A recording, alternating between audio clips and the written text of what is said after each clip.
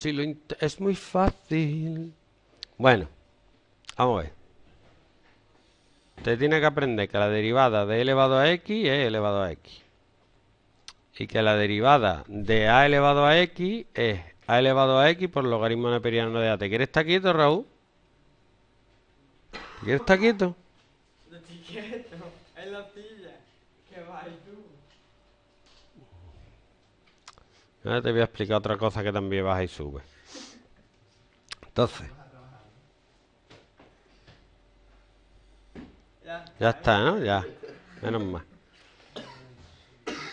Sería lo mismo por la regla de la cadena 6x menos 6. ¿Vale? Mira silla, estaba aquí. Página 90. ¿Vale o no? Y si es un número,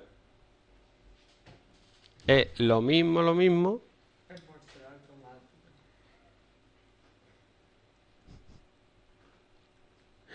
por logaritmo neperiano de 2. Y ya está. Es que no hay más. Pues ya que estoy, te voy a explicar los senos. La derivada del seno es el coseno.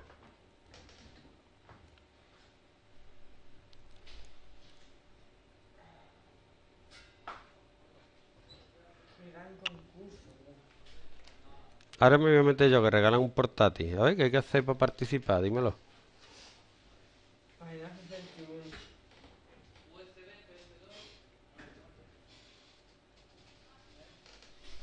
Samsung R530. Cuando está compuesta, por ejemplo, hay una dentro de otra. 5 es un sorteo.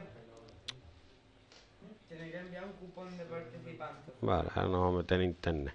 Sería coseno de lo que sea por la derivada de lo que sea, que sería... ¿Vale? Podría ser también coseno del logaritmo neperiano de x, imagínate. Pues sería menos seno del logaritmo neperiano de x por la derivada del logaritmo neperiano de x, que es 1 partido x. Podía ser más difícil todavía. Seno del logaritmo neperiano de x cuadrado menos 3. Fíjate que aquí hay una dentro de otra dentro de otra. Esto es como las muñecas rusas. La derivada del seno es el coseno.